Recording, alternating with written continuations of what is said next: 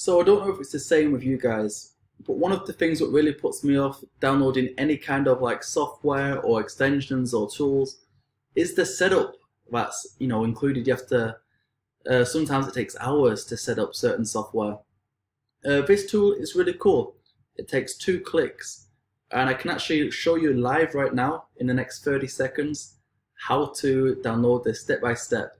So first, just click the button on the right so it should be over here, the button, it's a red button, says download now or something like that. And then it will take you to this page here.